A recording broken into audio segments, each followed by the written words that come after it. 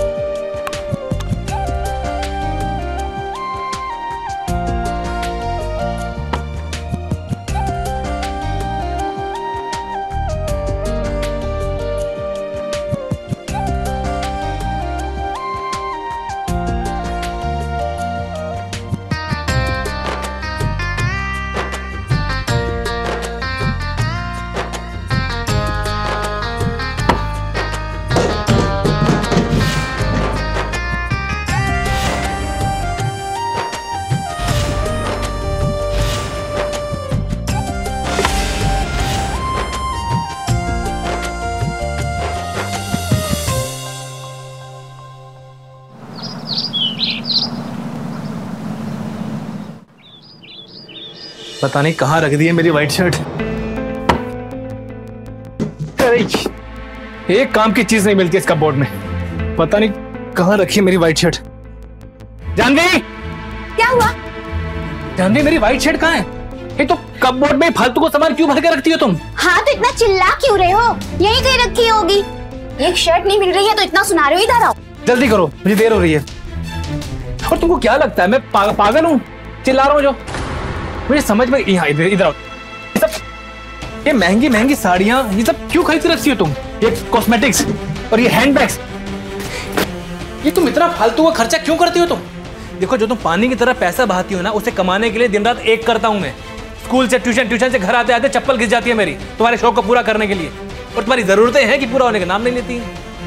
ये देखो, ये सब क्या क्या है ये सब फालतू का सामान?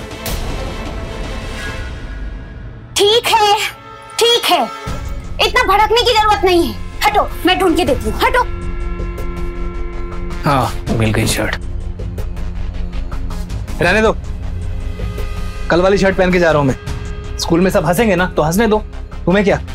और प्लीज़ ये फालतू के सामान खरीदना बंद कर दो तुम। और काबू में रखो अपने शौक को। इतने पैसे नहीं है मेरे पास। चेक को काबू में रखो। अजीब इंसान है।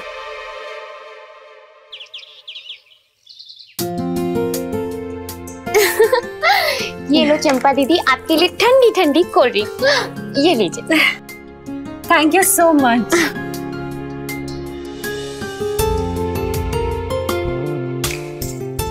वाह चंपा दीदी कितनी खूबसूरत साड़ी है हाँ? बिल्कुल नई डिज़ाइन। कहाँ से ली? जान तुम तो जानती हो ना कि मुझे ऐसी एक्सपेंसिव और स्टाइलिश साड़ियों का कितना शौक है। पता है ये साड़ी ना मैंने दो दिन पहले ही दिल्ली के एक डिज़ाइनर शोरूम से मंगवाई है। पूरी पंद्रह हज़ार रुपए की है। पंद्रह हज़ार? अपने लखनऊ में इस तरह की साड़ियाँ कहाँ मिलती हैं?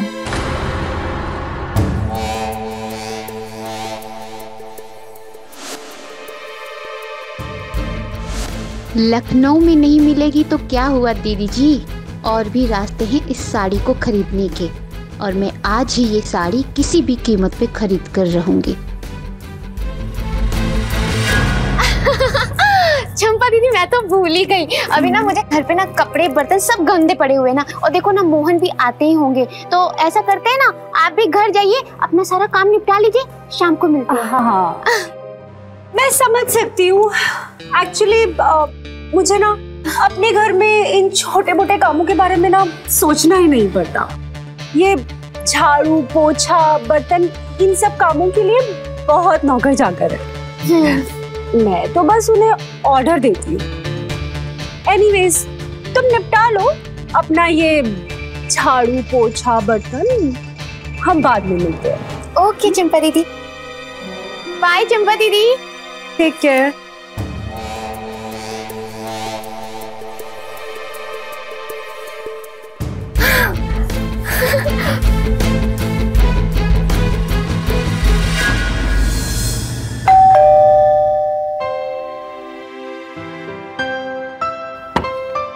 जानवी जल्दी से खाना लगा दो मुझे टीचर्स मीटिंग के लिए निकलना है अभी। खाना? हाँ। खाना तो मैंने बनाया नहीं मोहन। क्यों? मोहन कैसी बातें कर रहे हैं आप हाँ? घर का सारा काम मुझे अकेले करना पड़ता है आपको मालूम भी है? घर का झाड़ू पोछा बर्तन सब मैं अकेले करती हूँ। ये देखो कमर मेरी टेढ़ी हो गई है हाथ पैरों में मेरे दर्द होता है। सोचा था कि थोड़ी देर आराम कर लेती हूँ बस खाना ही चढ़ाने जा रही थी। तब तक तो दिखा आप आगे। मैं भी तो देखो कितना दुख हो रहा है मैं आपके लिए खाना ही नहीं बना पाई। चलो कोई बात नहीं मैं कैंटीन में कुछ खा लूँगा तुम आराम करो। अच्छा माँ कहाँ है? अ, वो जो गुप्ता जी है ना उनके सत्यनारायण की कथा सुनने गई है तो मैं निकलता हूँ फिर हाँ? कैंटीन में खा लूँगा। मुझे ना घर का सामान कुछ मंगवाना है तो पैसे चाहिए। पंद्रह हज़ार रुपए? पंद्रह हज़ार रुपए। जानवी, तीन चार दिन पहले ही तो तुम्हें मैंने महीने का खर्चा दिया था।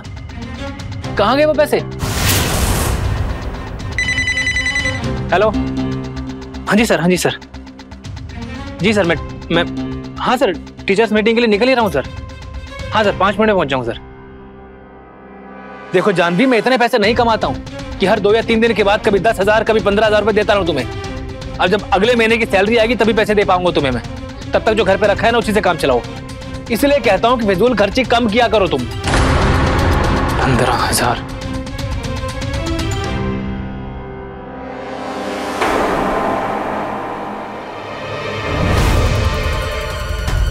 जब देखो फिजूल खर्ची का बस ताना मारते रहते हो पर ये मत भूलो कि मैं तुम्हारी बीवी हूँ। शौक तो पूरे कर नहीं सकते। कोई नहीं अगर सीधी उंगली से घी नहीं निकलता है ना तो ये उंगली मुझे तेरी करनी आती है।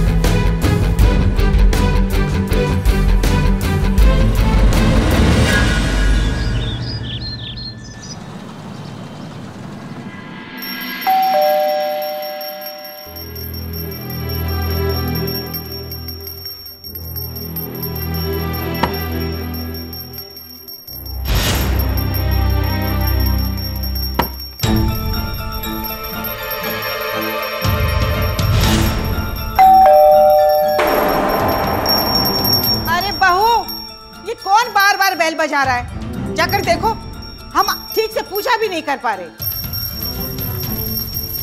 अरे पार्सल आया है माँ जी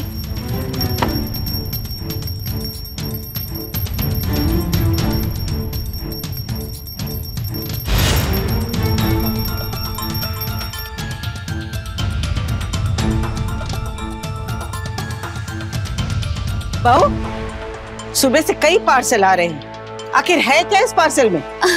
वो माँ जी मैंने घर के लिए राशन मंगवाया था। क्या? अरे पिछले हफ़्ते ही पूरे घर का राशन मंगवाया था ना हमने।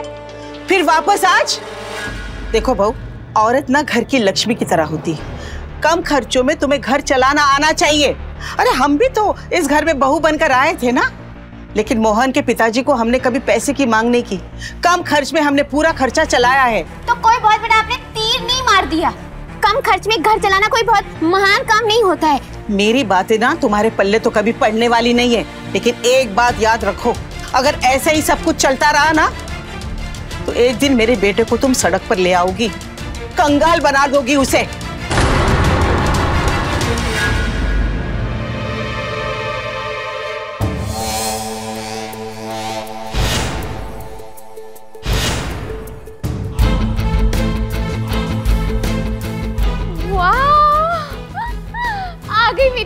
डिज़ाइनर साड़ी। अब मैं जब इसे पहन के निकलूँगी ना बाहर तो सब लोग जल जाएँगे। खास कर ये चंपा दीदी। Designer sari designer sari. देखो, मेरे पास भी आ गई डिज़ाइनर साड़ी।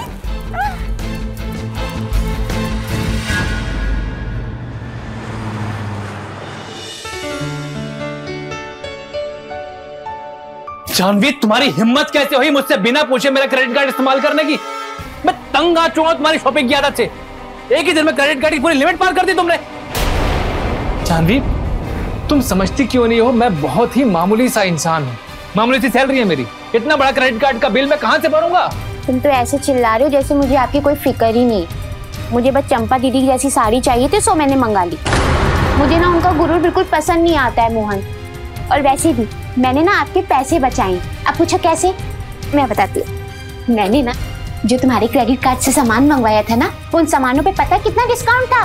पूरा फिफ्टी परसेंट जानवी अभी कुछ देर पहले ही तो मैंने तुम्हें पंद्रह हज़ार रुपए दिए थे ये साड़ियों के लिए कॉस्मेटिक्स के लिए। फिर दोबारा से इन्हें वापस खरीदने की क्या ज़रूरत पड़ गई? शादी से पहले तुम्हारी माँ ने कहा था ये बहुत ही सरल लड़की है सरल तरीके से जीती है। ये है तुम्हारा सरल तरीका। देखो मोहन मेरी माँ के ऊपर मत जाओ ठीक है ना? और अगर तुमसे बर्दाश्त नहीं होता ना ये तुम्हारी प्रॉब्लम है मेरी नहीं। पति का काम होता है अपनी बीबी को ऐशो आराम में रखना, उसकी जरूरतों को पूरे करना। आपने की कभी? कभी आपने ये सोचा? नहीं, सिर्फ़ आप हम पर ना लेक्चर देते रहते जाके सीखे चंपा दीदी के हस्बैंड से। न जाने क्या क्या लेकर आते हैं अपनी बीवी के लिए। इम्पोर्टेड परफ्यूम कभी कभी डिज़ाइनर साड़ियाँ कभी कभी सोने की बैंगल्स और आप आप क्या लेकर आते आप कुछ नहीं लेकर आते। आप सिर्फ़ हम पे ना मास्टरगिरी झाड़ते हैं। देखो, जानवी, बस हो गया। अब मैं तुम्हें खर्चे के लिए एक रुपया भी नहीं दूँगा, देख लेना। मैं खुद ले लूँगी।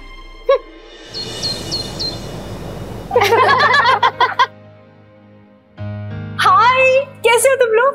पता है, मैंने आज तुम सबको यहाँ क्यों बुलाया? एक खुशखबरी देने के लिए।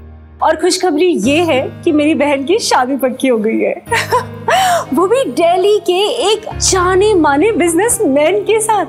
और पता है शादी अगले महीने है। थैंक यू सो मच और ना शादी में आने का इनविटेशन मैं तुम सबको अभी से ही दे रही हूँ। तैयारियाँ शुरू कर देना सबके सब। तुम्हें पता है शादी राजस्थान के एक बहुत बड़े लग्जरियस फाइव स्टार होटल में है।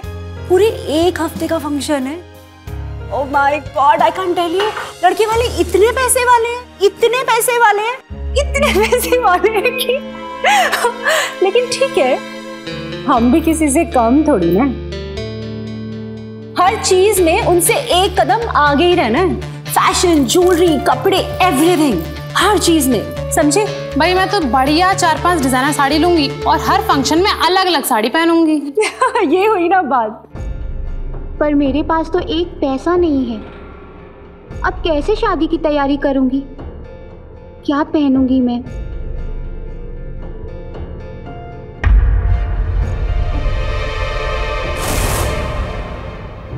अरे चंपा तुम्हारे कंगन कितने सुंदर हैं। कहाँ से लिए? कल्याणी ज्वेलर्स के हैं। दिल्ली के काफ़ी जाने माने डिज़ाइनर ज्वेलर्स हैं। 24 कैरेट के हैं। खरे सोने के। खैर, ये सब तुम्हें कैसे पता होगा? तुम्हें तो ये भी नहीं पता होगा ना कि मार्केट में सोने का प्राइस क्या चल रहा है? कोई कोई बात नहीं, मैं बता देती हूँ। अस्सी हज़ार के हैं। मैं भी क्या करूँ? मेरे हस्बैंड भी ना हमेशा मुझे महँगे महँगे गिफ्ट्स ही देते रहते हैं।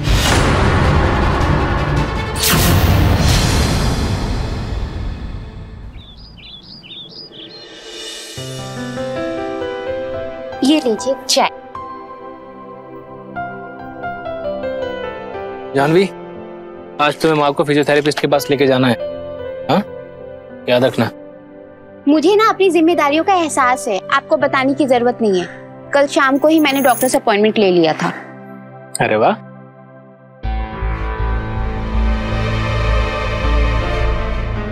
मोहन अ, डॉक्टर के पास जाना है तो फ़ीस भी तो लगेगी ना तो ऐसा करना अपने डेबिट कार्ड मुझे दे के जाना, ठीक है? जानवी फ़ीस की टेंशन तुम मत लो। मैं संभाल लूँगा। तुम बस माँ को टाइम से फिजियोथेरेपिस्ट के पास ले जाना। इतना बहुत।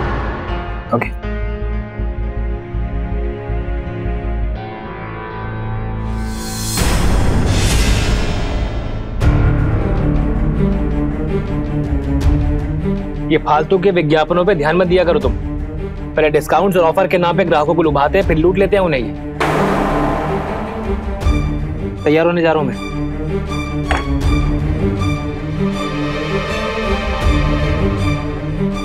पैंतीस परसेंट ऑफ़ सिर्फ़ अस्सी हज़ार में।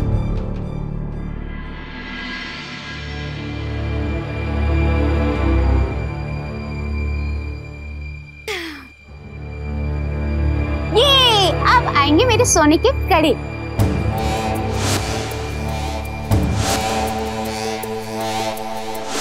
चंपा दीदी बड़ा बोल रही थी ना लेटर डिज़ाइन के लेटर डिज़ाइन के सोने की कड़े। जब ऐसे कड़े मेरे हाथ में देखेंगी ना, तब पता चलेगा आग लग जाएगी उनके। आज की इस चकाचौंध की दुनिया में हर कोई सुंदर और आकर्षक दिखना चाहता है। ई कॉमर्स या ई व्यवसाय जैसी सुविधाओं के कारण घर में बैठे बैठे ऑनलाइन पे हम फैशनेबल कपड़े और तरह तरह की ज्वेलरी खरीदी कर सकते हैं, खासकर औरतें, जिन्हें खरीदी करने का बड़ा शौक रहता है। लेकिन अगर यही शौक नशे में तब्दील हो जाए तो फिर इसके परिणाम बहुत ही गंभीर हो सकते हैं। नमस्कार, मैं हूँ सुधा चंद्रन और आज खर्च और खरीदारी की एक ऐसी कहानी आपके सामने लेकर आई हूँ, जिसका अंजाम बहुत ही दुखदायक रहा। जानवी जिसे फजूल खर्च करने की बड़ी आदत लग गई थी, बल्कि अगर हम इसे बीमारी कहे तो वो गलत नहीं होगा। और कोई भी चीज़ खरीदी करने से पहले, वो मोहन के आर्थिक स्थिति के बारे में कभी नहीं सोचती थी। मोहन और उसकी माँ शांति के लाख समझाने के बावजूद भी, वो अपने इस लत पर काबू नहीं कर पाई क्या जानवी, अपनी इस लत पर काबू कर पाएगी? या फिर उसकी इस बुरी आदत की वजह से मोहन और उसके परिवार में और मुसीबतें आने वाली है? आइए देखते हैं। मोहन मुझे लगता है कि तुम एक कॉम्पिटेंट पर्सन हो। और पर्सनली मुझे ये भी लगता है कि तुम ये काम कर सकते हो। थैंक यू सर हमारे स्कूल के विकास के लिए ट्रस्टी अपने प्लान के साथ तैयार है। इस काम को पूरा करने के लिए ट्रस्ट चाहता है कि छुट्टियाँ शुरू होने से पहले ही हमारा जो लक्ष्य है पाँच लाख रुपया इकट्ठा करने का वो काम पूरा किया जा सके। सर मैं पूरी कोशिश करूँगा कि आपको शिकायत का मौका ना दूँ। Very good excuse me sir yes ये रहा पार्सल सर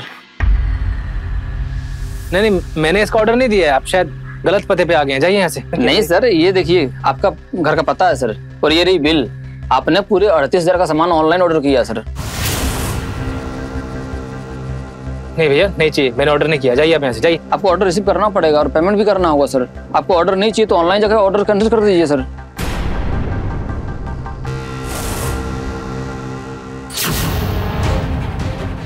जानवी? जानवी? जी। क्या है? क्यों ऑर्डर किया तुमने ये? तो मैं क्या करती? हम्म? तो मैं क्या करती? हाँ? तुम तो मुझे पैसे देते नहीं हो और मेरे शौक पूरे करने के लिए तो कुछ ना कुछ तो करना पड़ेगा ना मुझे? ऐसे क्या देख रहे हो? कर दो ना पेमेंट बाबू कर दो ना पेमेंट फिर मम्मी को लेके मुझे डॉक्टर के पास भी तो जाना है ना। फिर उनकी दवाइयाँ फिर वहाँ से आना जाना इतने घर का काम सब मेरे को करना पड़ता है। पता है आपको? कितना ख्याल रखती हूँ मैं आपका। और आप मेरे लिए छोटी सी पेमेंट नहीं कर सकते। कर दो और प्रिंसिपल सर भी तो बैठे हुए वो क्या सोचेंगे? हाँ बोल दीजिए मैं दे रहा हूँ दे रहा हूँ। ये ये लो। Pin sir. बाबू पिन डालो। पिन डालो। हाँ।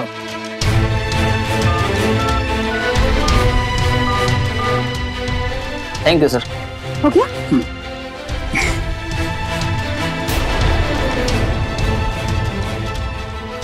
ऐसे क्यों मुँह बनाए हुए हो? हाँ? चंपा दीदी की बहन की शादी है इसलिए मेकअप और कुछ साड़ियाँ मंगवाई थी मैंने। आप क्या चाहते मैं वही पुरानी साड़ी पहन के जाती? हाँ? आप नहीं चाहते कि मैं शादी में सबसे सुंदर दिखूं? ठीक किया ना वैसे मैंने। मैं ताकि मम्मी जी को देखती हूँ तैयार हुई कि नहीं हुई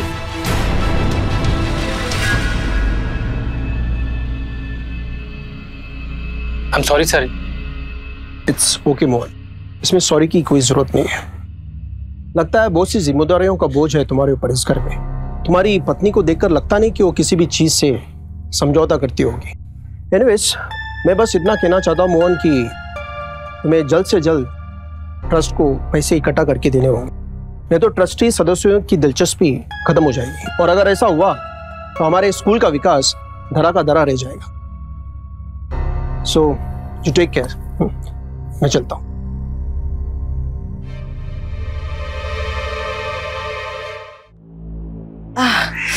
अरे अरे बहू कहाँ रह गई? आओ ना। हाँ हाँ हाँ माँ जी आ रही आ रही। ये देखो। अरे उसको बंद कर ना तुझे पता है ना मुझे दिक्कत होती है चढ़ने में। बस बस बस माँ जी हो गया हो गया। अरे हाथ दे भाई। चलिए।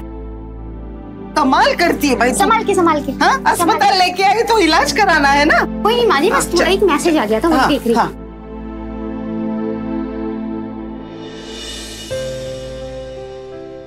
Excuse me yes ma'am Shanti Devi ji के नाम का आज का अपॉइंटमेंट होगा। Just give me one minute okay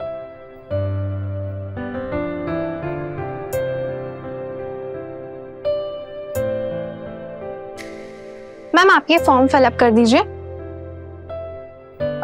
माँ जी हम्म? आप अंदर वेट करिए मैं फॉर्म फिलअप करके आती हूँ ठीक है? ठीक। है yes ma'am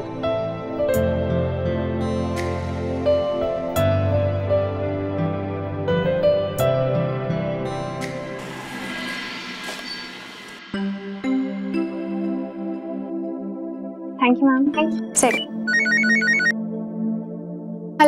madam मैं आशा फिजियोथेरेपी क्लिनिक के बाहर खड़ा हूँ। आपका पार्सल आ गया। आ गया पार्सल आ गया पार्सल ओके भैया मैं ना दो मिनट में आती हूँ। Okay madam.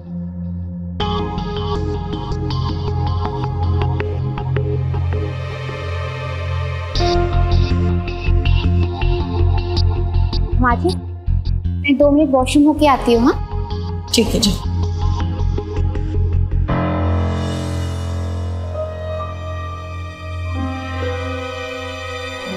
पार्सल हाँ मैडम आ गया आपका पार्सल अस्सी हज़ार कैश दीजिए और यहाँ पे साइन कर दीजिए। यहाँ साइन करना है? हाँ हाँ।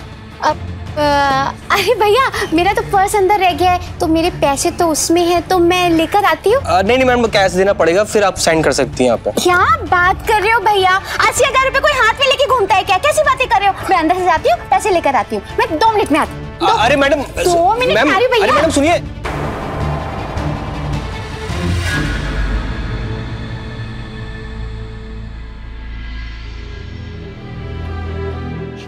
कहाँ चली गई है? हाँ? अरे वॉशरूम में कोई इतनी देर रहता है क्या? एक तो हर बड़ी में हम अपना फ़ोन लाना भूल गए।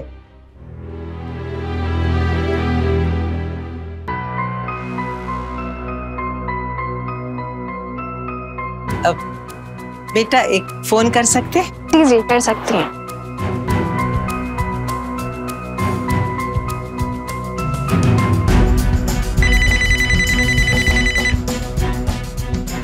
बेटा हम यहाँ डॉक्टर के वहाँ आए हैं जानवी के साथ। वो पता नहीं हमें यहाँ बिठाकर कहाँ चली गई। ये बोलकर गई है कि वॉशरूम होकर आ रही है पर अभी तक नहीं आई बेटा। माँ आप चिंता मत कीजिए उसे वहाँ कोई पहचान का मिल गया होगा उससे बातें करने लग गई होगी। अब तो जानते हैं ना उसे। अच्छा माँ मैं एक काम करता हूँ मैं खुद आपको लेने आता हूँ आप इंतज़ार कीजिए है ना? मैं आ रहा हूँ। धन्यवाद।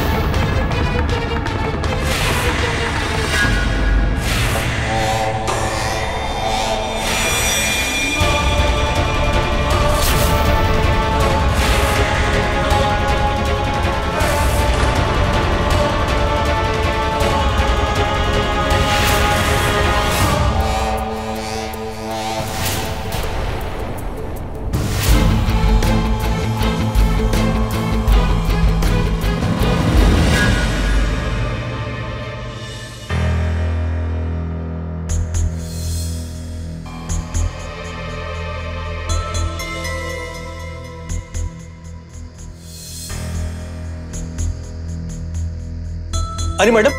जी? यहाँ कोई चंपा अग्रवाल नाम की लेडी है? मैं चेक कर लेती हूँ एक बार। नहीं इस नाम का तो कोई नहीं है यहाँ पर। ऐसा कैसे हो सकता है? इसी एड्रेस पे उन्होंने पार्सल मंगवाया था। और अभी थोड़ी देर पहले मैंने उनको पार्सल दिया है वो अंदर आई हैं। पर यहाँ पे इस नाम का कोई नहीं है। कोई नहीं है? इसका मतलब है इस औरत ने मेरे साथ धोखा किया। अगर वो पार्सल लेकर भाग गई तो मेरी नौकरी चली जाएगी। कहाँ से भरूँगा मैं अस्सी हज़ार रुपए? अरे भाई तुमने उस औरत को बाहर निकलते देखा जो मेरे से पार्सल के अंदर गई थी? नहीं देखा मैं। ये मेरे पास भी आ गई ये सोने की कंगन। आप सबको दिखाऊँगी ये सोने के कंगन। खास करना ये चंपा दीदी को।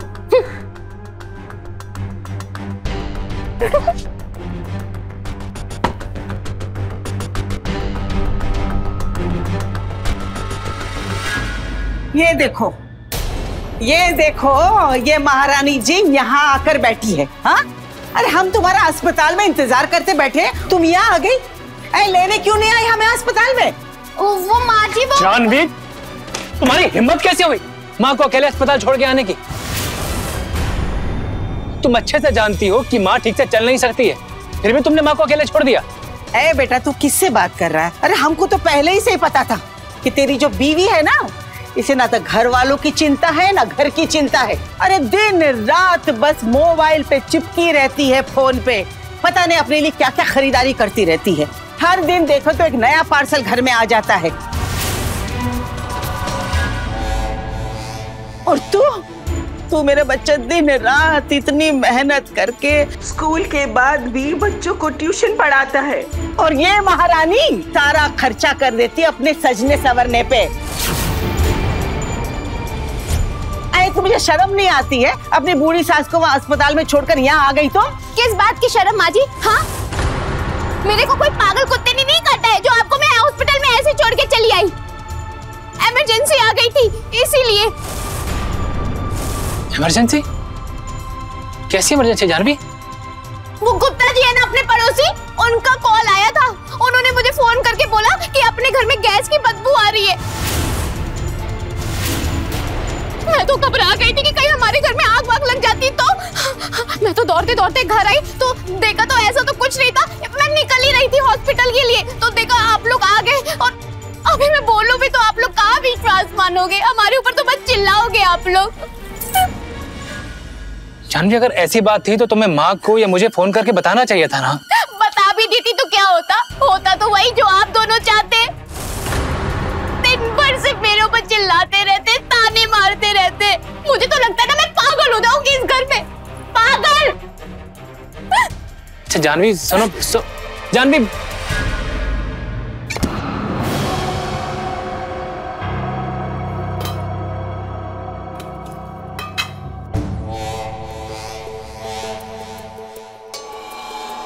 जब से इस घर में आई हूँ ना तब से बस यही सुनती आई हूँ। ये मत खरीदो वो मत खरीदो। ये महँगा है वो महँगा है।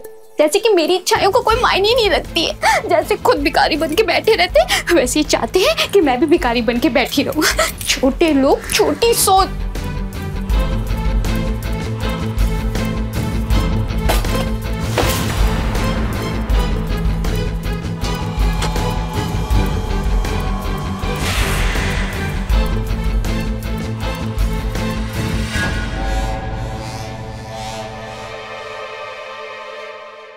कहते हैं, किसी भी चीज़ की अधिकता नुकसान करती है। ठीक उसी तरह, ज़रूरत से ज़्यादा खरीदी करना भी आपके लिए घातक साबित हो सकता है, और वो भी तब, जब आप आर्थिक रूप से कमज़ोर हो। अपनी खरीदारी के शौक को पूरा करने के लिए जानवी ने धोखेबाजी का रास्ता अपनाया, और ये सब कुछ करने में उसे बड़ा मज़ा भी आ रहा था। लेकिन वो इस बात से अनजान थी कि उसका ये तरीका उसे गलत दिशा की तरफ़ ले जा रहा था। जिसका अंजाम बहुत ही भयानक होने वाला था। सर पुलिस स्टेशन जा रहा हूँ मैं। क्यों? सर चंपा अग्रवाल के नाम पे कंप्लेंट करने। हुआ क्या है? सर अस्सी हज़ार का पार्सल लेके बिना पैसा दिए। तुमने बिना पैसे लिए पार्सल दिया क्यों? सर मैं उस औरत को छोड़ूँगा नहीं सर।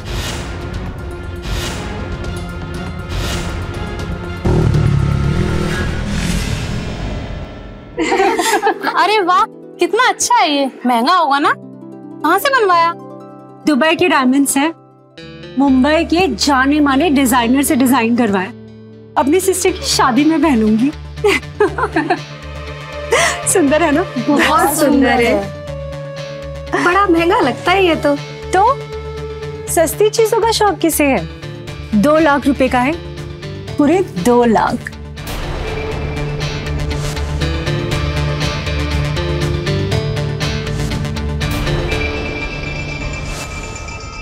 दो लाख का डायमंड सेट कोई बात नहीं चंपा दीदी। हम्म, सस्ती चीज़ों का शौक मुझे भी नहीं है। अब हम भी शादी के लिए ऐसा ही डायमंड सेट लेंगे चाहे कुछ भी हो जाए। पर मेरे पास तो पैसे ही नहीं है। हे भगवान जल्दी से कोई चमत्कार कर दो ना ताकि मैं भी चंपा दीदी के जैसा डायमंड सेट ले सकूँ।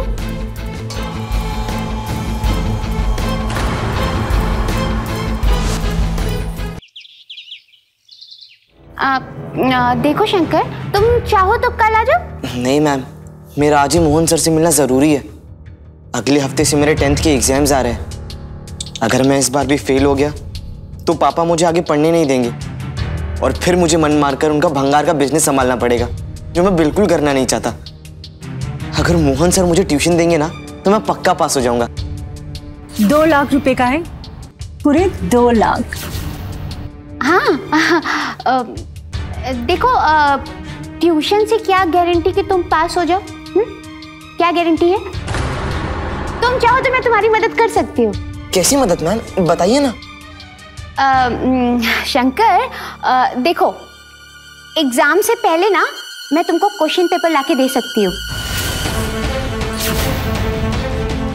पास होना है ना? तो मैं ना आ, तुम्हें पेपर लाके दे सकती हूँ। उसके लिए तुमको ना मुझे आ, दो लाख रुपए लाके देने होंगे। बोलो सौदा मंजूर? हाँ मैम पर मेरी एक छोटी सी रिक्वेस्ट है। आ, कैसी कैसी कैसी? मैं आपको सिर्फ़ एक लाख रुपए दे सकता हूँ। उससे ज़्यादा नहीं हो पाएगा मैम। एक लाख रुपए मैं माँ को देने के लिए मना लूँगा। और पापा तो कभी नहीं मानेंगे। Please ma'am. अच्छा। एक लाख रुपए? कोई बात नहीं। तुम पढ़ने वाले बच्चे हो तुम्हारे लिए एक लाख में मैं लाके दे दूँगी पेपर ठीक है? एक लाख थैंक यू मैम ठीक है जाओ। जाओ जाओ जाओ जाओ जाओ। हाँ जाओ, तुम्हारा काम हो जाएगा जाओ। थैंक यू हे भगवान चमत्कार कर दिया आपने। एक लाख का तो इंतज़ाम हो गया। एक लाख का तो मैं ना चुटकियों में इंतज़ाम कर लूँगी।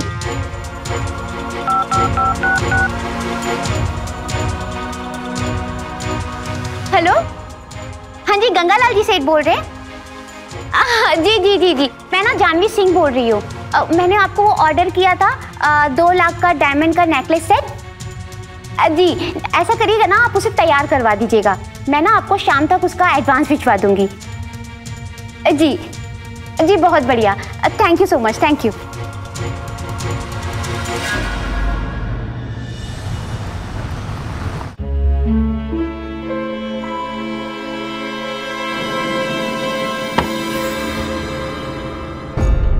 ये लो तुम्हारे टेंथ के question paper. Thank you ma'am इस बार तुम्हारे स्कूल में सब हैरान रह जाएँगे तुम्हारे मार्क्स देख कर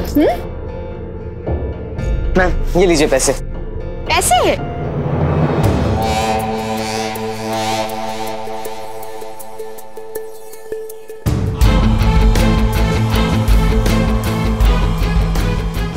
अ, मैम मैं जाऊँ?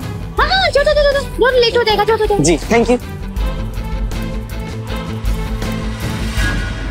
नहीं नहीं सेठ जी ऐसा कुछ भी नहीं है। बस थोड़ा सा मैं काम में बिज़ी हो गई थी इसीलिए आपको कॉल नहीं कर पाई। और आजकल में मैं आकर आपको बाकी का पैसा भी दे दूँगी। आपको एडवांस तो दे चुकी हूँ ना सेठ जी। इतना तो भरोसा आप कर सकते हैं ना मुझ पे। बात एडवांस देने की नहीं है मैडम जी। आपका डायमंड का सेट तैयार हो चुका है। आप एक दो दिन में आके बाकी का पैसा दे दीजिए और अपना डायमंड सेट ले लीजिए। जी जी बहुत बढ़िया। ठीक है थैंक यू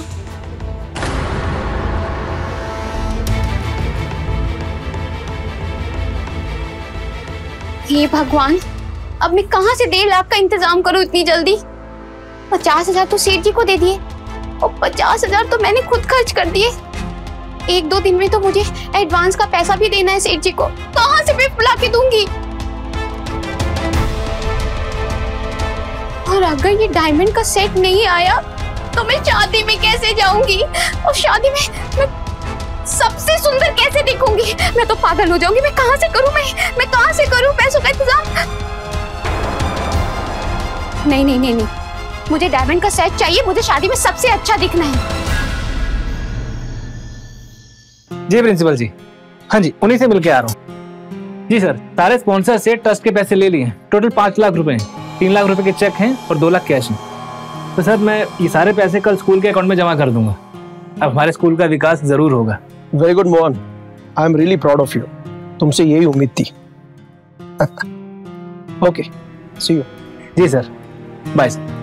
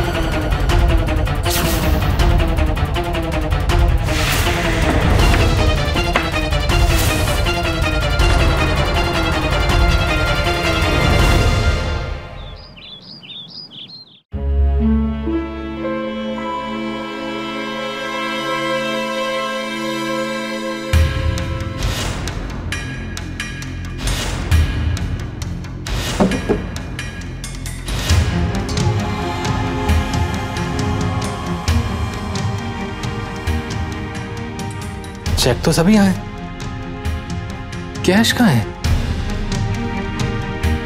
जानवी? जानवी, दो लाख रुपए कहाँ है?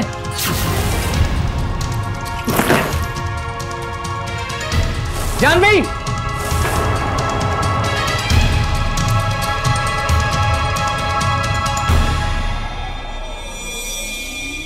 मोहन? शर्मा जी आप क्या बात है? आप चिल्ला क्यों रहे हैं? हमारे बेटे के साथ धोखेबाजी करके तुझे चैन नहीं मिला? अरे तू मास्टर नहीं चोर है! पर मैंने किया क्या है? शुक्र मना कि अभी तक हमने कुछ नहीं किया है। अगर हमारे पैसे वापस नहीं मिले ना तो तुझे मार मार के भंगार बना देंगे। कौन से पैसे? किन पैसों की बात कर रहे हैं आप? हमारे बच्चे ने सारी सच्चाई बयां कर दी हमें। किस तरह से तेरी बीवी ने हमारे बच्चे को परीक्षा में पास होने का जासा देकर एक लाख रुपया ऐंठ लिया और किस तरह से उसने परीक्षा के झूठे पेपर देकर वहाँ से चल पड़ी? हमारे पैसे वापस कर वरना क्या कर रहे हैं आप शर्मा जी? अरे मेरे बेटा मोहन ऐसा कुछ भी नहीं गलत कर सकता है। ये सब किया तारा मेरी बहू का है। किसने किया है और किसने नहीं किया है माता जी इससे हमें कोई लेना देना नहीं है। हमें हमारे एक लाख रुपए पूरे वापस चाहिए। चौबीस घंटे है तेरे पास। हमें हमारे एक लाख रुपए पूरा वापस चाहिए। वरना हम यही बात स्कूल तक पहुँचा देंगे। और उसके बाद तेरी ऐसी हालत करेंगे कि तुझे किसी स्कूल में मास्टर की नौकरी तक नहीं मिलेगी। प्लीज़ शर्मा जी देखिए ये बात स्कूल तक मत लेके जाइएगा। मैं आपके सामने हाथ जोड़ता हूँ। देखिए मैंने आपके बेटे से पैसे नहीं लिए। अगर मुझे इस बारे में जरा सी भी भनक होती तो मैं आपकी बेटी की ज़िंदगी के साथ जो खिलवाड़ नहीं होने देता। प्लीज़ मैं आपके सामने हाथ जोड़ता हूँ मेरी बात समझने की कोशिश कीजिए। Please Sharma ji please. चौबीस घंटे है तेरे पास। हमें हमारे एक लाख रुपए पूरे वापस चाहिए। वरना इसका अंजाम भुगतने के लिए तैयार रहना। चलो बेटा। ऐसे कैसे आप बात कर रहे शर्मा जी? अरे रुकिए ना ये क्या बोल कर गए? जानवी ने एक लाख रुपए के लिए बच्चे को नकली पेपर बेचे। मेरे बारे में मेरी इज़्ज़त के बारे में जरा भी नहीं सोचा उसने। Janvi ji? Hello sir sir मैं गंगाराम ज्वेलर्स से आया हूँ। एक्चुअली जानवी मैम ने एक डायमंड का सेट ऑर्डर किया था उससे डिलीवर करने के लिए। डायमंड का सेट दिखाओ।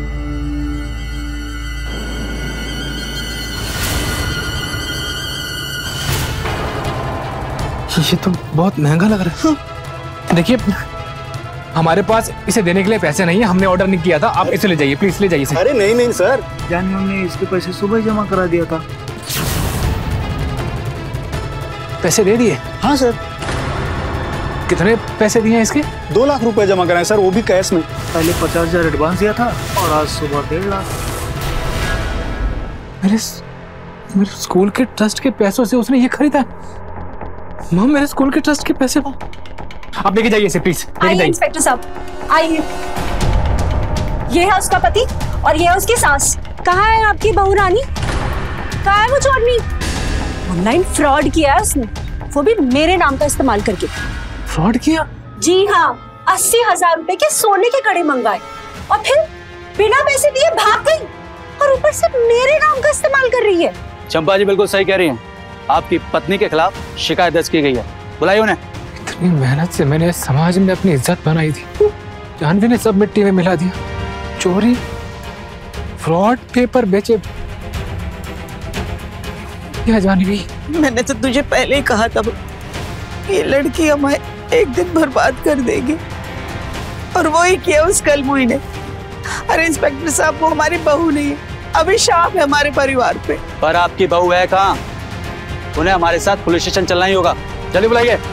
उसे तो मैं नहीं छोड़ूँगा। जानवी जानवी जानवी जानवी देखो जानवी मैं जानता हूँ तुम यहीं कहीं हो।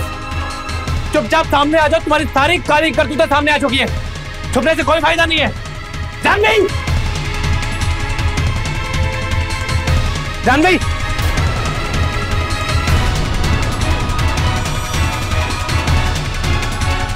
जानवी! जानवी, शर्म आने चाहिए तुम्हें। तुमने एक लाख रुपए के लिए उस बच्चे को नकली पेपर बेच दिए। अस्सी हज़ार की ऑनलाइन फ्रॉड किया है तुमने। और दो लाख रुपए जो मेरे स्कूल के ट्रस्ट के थे उससे तुमने डायमंड का सेट खरीद लिया। अरे एक बार भी मेरे बारे में माँ के बारे में नहीं सोचा तुमने? हमारे परिवार की इज़्ज़त मिट्टी में मिला दी तुमने। ये सब झूठ है। मैंने कुछ नहीं किया मैं सच बोल रही हूँ। मुझ पे विश्वास तो करो। तुम तो मुझे जानते हो ना। जानवी तुम्हें बहुत अच्छे से जान गया हूँ मैं। गलती की मैंने जो हर बार तुम पे भरोसा करता रहा। चलो पुलिस तुम्हें लेने के लिए आई है। नहीं मैंने किसी को धोखा और जो आप अपने पैसों के लिए बोल रहे हो ना, आप ही कहीं रख के भूल गए होगे। अरे, चोर भी चोरी करने के बाद कबूल कर लेता है कि उसने चोरी की है। और तुम हो, झूठ पे झूठ बोले जा रही हो, तुम्हारे सामने सच आ गया, फिर भी मान नहीं रही हो।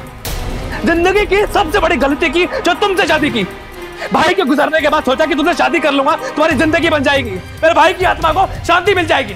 लेकिन तुमने हमारे बारे में बिल्कुल नहीं सोचा। पूरे परिवार की नाक काट दी है तुमने। जानवी तुमने जिस जैसे उधार लिया जिसको भी धोखा दिया ना वो सब पैसे तुम अकेली भरोगी। समझी? मैंने नहीं लिए बहुत पैसे। तुम मेरा विश्वास करो। अच्छा? तुमने कुछ नहीं किया? तो बताओ कि दो लाख रुपए कहाँ से आए? वो दो लाख रुपए जो मेरे स्कूल के ट्रस्ट के पैसे थे कहाँ से आए तुम्हारे पास डायमंड सेट के पैसे? बोलो। चलो पुलिस के पास। जानवी चलो। जानवी!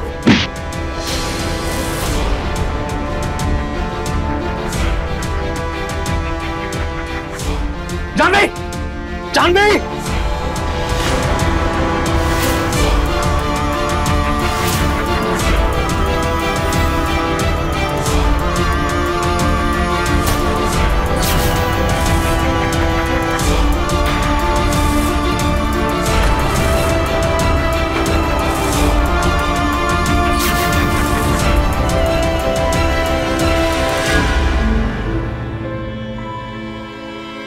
ये तो मर चुकी है। ये तो मर चुकी है। ये तो मर चुकी है।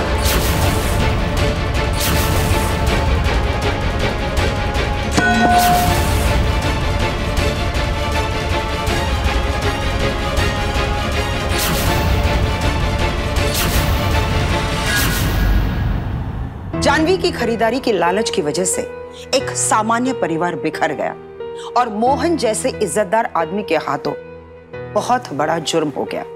एक पुरानी कहावत तो आप लोगों ने सुनी होगी। पैरों को उतना ही फैलाओ जितनी चादर हो। लेकिन जानवी, अपने चादर के हिसाब से पैरों को सिकोड़ने के बजाय फैलाती चली गई और जुर्म के दलदल में फंसती चली गई। अगर वक्त रहते, वो अपनी इस लत पर काबू कर पाती तो उसके परिवार पर ये मुसीबत नहीं आती। और आज जानवी ज़िंदा हो। अपनी आय से ज़्यादा खर्च करना आपके जीवन के संतुलन को बिगाड़ सकता है।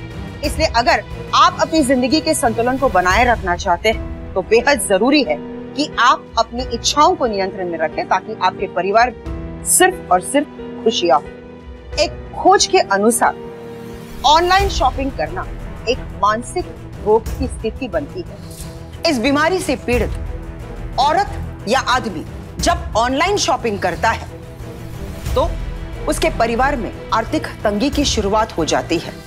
और साथ साथ उसके परिवार में झगड़े भी शुरू हो जाते हैं। इसी के साथ मैं सुधा चंद्रन आपसे विदा लेती हूँ। फिर मिलेंगे क्राइम अलर्ट के अगले एपिसोड में एक नई कहानी के साथ। तब तक के लिए आप सतर्क रहे, सुरक्षित रहे और देखते रहे क्राइम अलर्ट जुर्म के खिलाफ आवाज़।